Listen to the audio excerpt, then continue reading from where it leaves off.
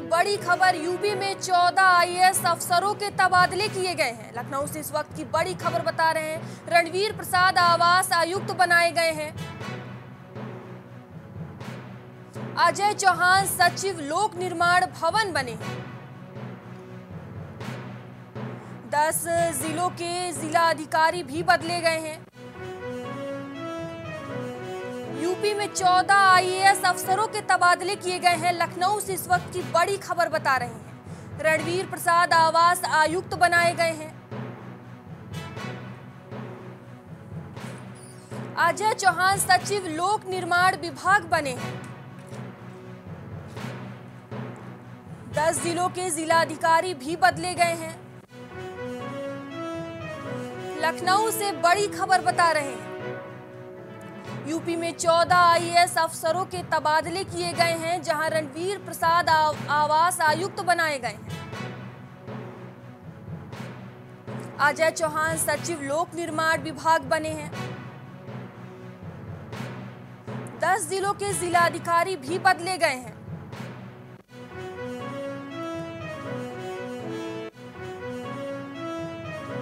गोंडा में पानी ने लोगों की मुसीबत बढ़ाई है। गोंडा से बड़ी खबर बता रहे हैं। पहाड़ों से छोड़े गए पानी से लोगों की मुश्किलें बढ़ी हैं। कर्नलगंज तहसील क्षेत्र में लगातार पानी बढ़ रहा है। सैकड़ों गाँवों में मडरा रहा बाढ़ का खतरा।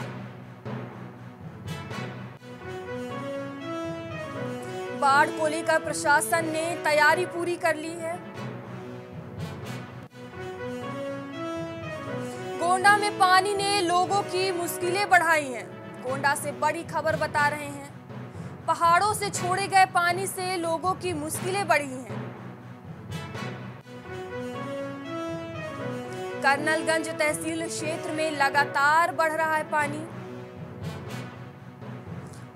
वहीं सैकड़ों गाँव में बाढ़ का खतरा मंडरा रहा है। बाढ़ को लेकर प्रशासन ने तैयारी पूरी कर ली है।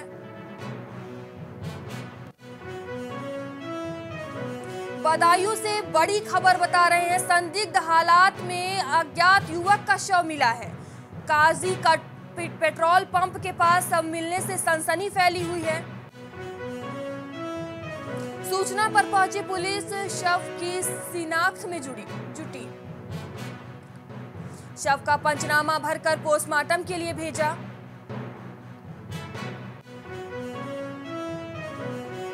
अलापुर थाना क्षेत्र की घटना बताई जा रही है।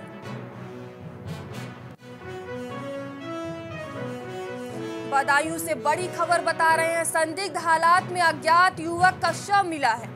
काजी पेट्रोल पंप के पास सब मिलने से सनसनी फैली है। सूचना पर पहुँची पुलिस, शव की जाँच में जुटी। शव का पंचनामा भरकर पोस्टमार्टम के लिए भेजा।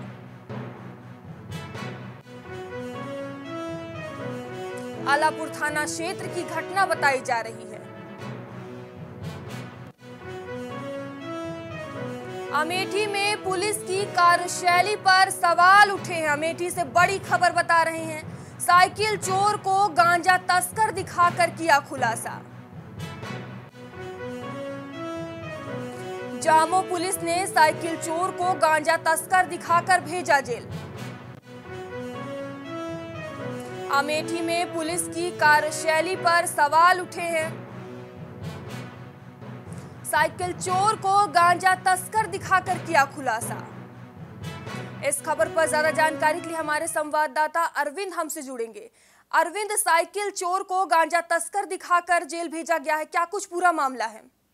जी आपको मैं बिल्कुल बता दूँ मयूरी की ये मामला अमेठी ज़िले के जामू थाना क्षेत्र के से आता है जहाँ पर दो दिन पूर्व जामू पुलिस ने एक साइकिल चोर को आधा दर्जन से अधिक चोरी की साइकिल के साथ खरीद खरीदने वाले दुकानदार को किया था गिरफ़्तार।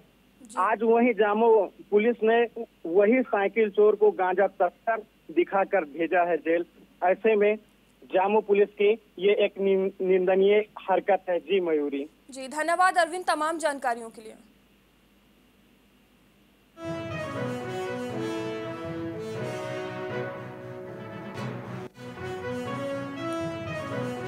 कानपुर से इस वक्त की बड़ी खबर, चार दुकानों में आग लगने का हुआ खुलासा। युवक ने लाइटर से दुकान में लगाई थी आग। युवक की आग लगाते वीडियो सीसीटीवी कैमरे में हुआ कैद। सीसीटीवी के आधार पर पुलिस ने आरोपी को पकड़ा। आग से लाखों का सामान जलकर हुआ खाक। बाबूपुरवा क्षेत्र के 40 दुकान का मामला। चार दुकानों में आग लगने का हुआ खुलासा, कानपुर से बड़ी खबर बता रहे हैं। युवक ने लाइटर से दुकान में आग लगाई थी। युवक की आग लगाते हुए वीडियो सीसीटीवी कैमरे में कैद हुआ था। जिसके बाद सीसीटीवी के आधार पर पुलिस ने आरोपी को पकड़ा। आग से लाखों का सामान जलकर हुआ था खाक। बाबूपुरवा क्षेत्र के 40 दुकान का मामला। लखनऊ से इस वक्त की बड़ी खबर बता रहे युवक की संदिग्ध परिस्थितियों में लगी गोली। गर्दन पर लगी युवक को गोली।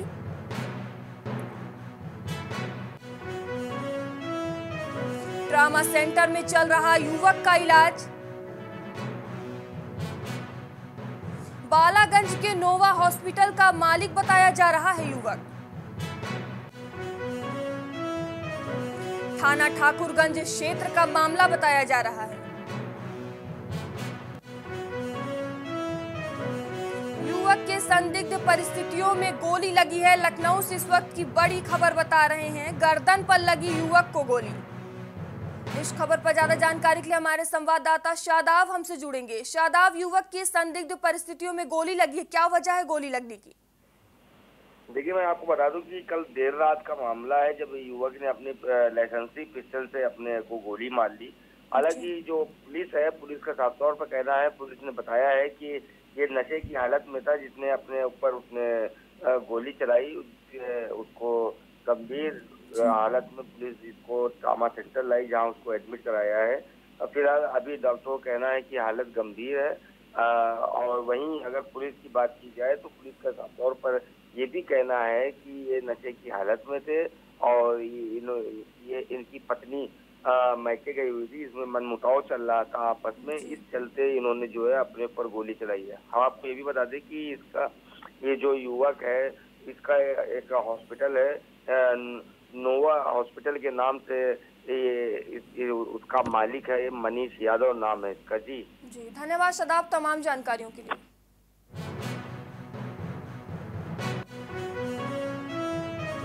कानपुर से इस वक्त की बड़ी खबर, हुक्काबार में पुलिस की बड़ी कार्रवाई। पश्चिम जोन के डीसीपी विजय दुल के निर्देश पर हुई कार्रवाई। थाना स्वरूप नगर क्षेत्र में हुक्का बार पर कड़ी कार्रवाई की गई है। एसीपी स्वरूप नगर ब्रिज नारायण सिंह के नेतृत्व में छापा मारा गया है। मौके से चार लोगों को भी गिरफ़्तार किया गया है। कार्रवाई से इलाके में अफरा तफरी मची हुई है। इस खबर पर ज़्यादा जानकारी के लिए हमारे संवाददाता अनिल हमसे जुड़ेंगे। अनिल हुक्का बार में पुलिस की बड़ी कार्रवाई सामने आई है। क्या है पूरा मामला? सूबे के मुखिया ने हुक्का बार को लेकर चिंता जताई थी कि बहुत ज़्यादा खुल रहे हैं। तब से कानपुर में कहीं ना कहीं पुलिस इन सब चीज़ों पे काफ़ी सक्रिय हुई है और पश्चिम जोन के जो डीसीपी विजय ढुल है उनके निर्देशन पे कल स्वरूप नगर थाना क्षेत्र में हुक्का बार पे बड़ी कार्रवाई की गई थी और देर रात ही अफरा तफरी का माहौल मचा रहा और बता दूँ कि टर्न ऑफ़ कैफ़े है जिसपे लगभग बहुत शिकायतें आ रही थी कि यहाँ पे हुक्का बार चलता है और नौ नौ युवा जो होते हैं यहाँ जाके ये सब चीज़ें करते हैं। तो उसके बाद एसीपी स्वरूप नगर ब्रिज नारायण के नेतृत्व में इस पर छापा मारा गया और चार लोगों की गिरफ्तारी की गई है। कहीं ना कहीं पुलिस की एक अच्छी अच्छी सोच है और अच्छा कार्य है कि इन सब चीज़ों पे लगाम लगाई जा रही है और करना, ये सब करना भी चाहिए। जी, धन्यवाद अनिल हमसे जुड़ने के लिए।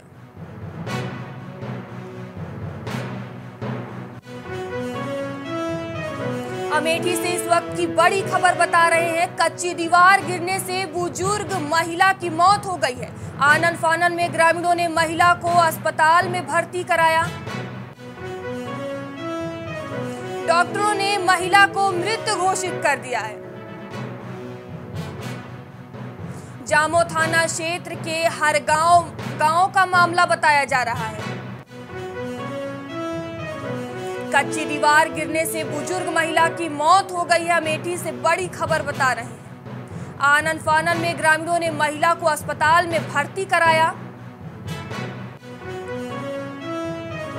जिसके बाद डॉक्टरों ने महिला को मृत घोषित कर दिया है। जामो थाना क्षेत्र के हर गाँव गाँव का मामला बताया जा रहा है। कुछ भाव पुष्प। आप देख रहे हैं प्राइम टीवी सच साहस सरोकार। नमस्कार आप देख रहे हैं प्राइम टीवी मैं हूँ